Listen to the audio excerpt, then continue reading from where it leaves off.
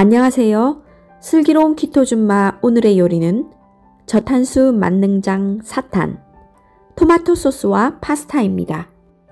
먼저 저탄수 토마토 소스를 만들어 보겠습니다. 토마토 소스는 서양에서는 고추장만큼 밥상에서 빠져서는 안 될 아이템입니다. 그럼 양식을 라면보다 쉽게 만드는 마법의 소스를 만들어 보겠습니다. 양파는 잘게 다져줍니다.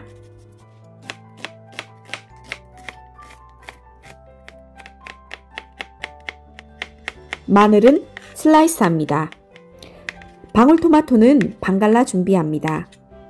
큰 토마토를 사용해도 좋습니다. 치킨 스톡 1개당 물 2리터 용량이므로 한 컵 용량 반만 사용하겠습니다. 올리브유에 마늘을 볶다 양파를 볶아요.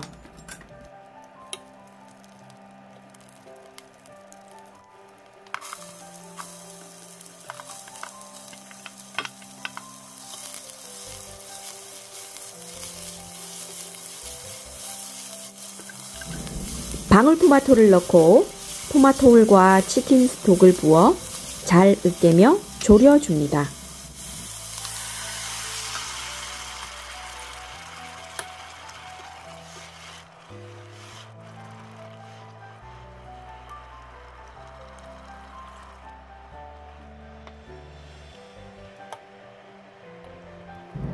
스테비아 한 작은술과 소금 후추를 넣어 간을 합니다.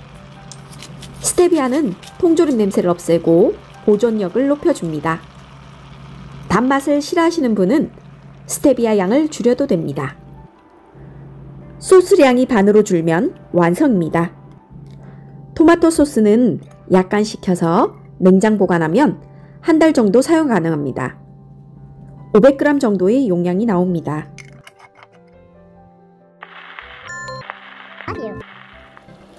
이제 파스타를 만들어 보겠습니다.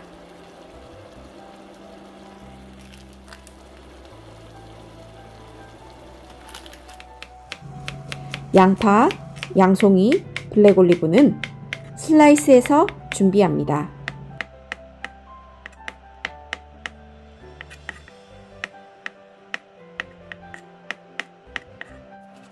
베이컨은 듬성듬성 썰어줍니다. 올리브유를 두르고 베이컨과 야채를 볶아줍니다.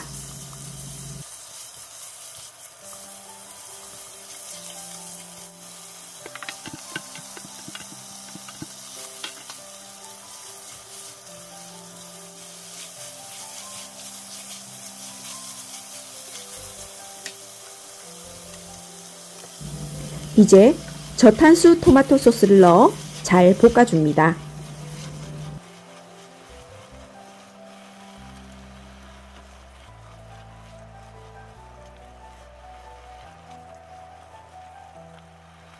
두부면을 넣으면 저탄수 파스타 완성!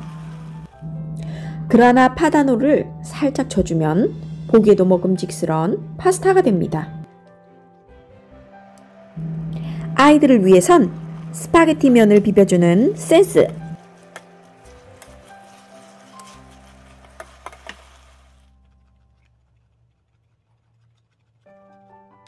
지금까지 저탄수 토마토 소스와 파스타였습니다.